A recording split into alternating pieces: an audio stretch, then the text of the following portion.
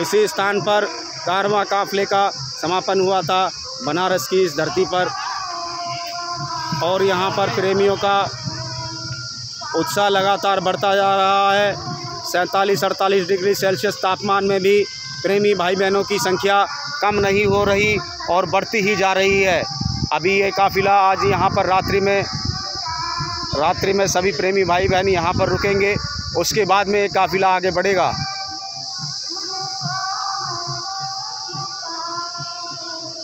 Bye.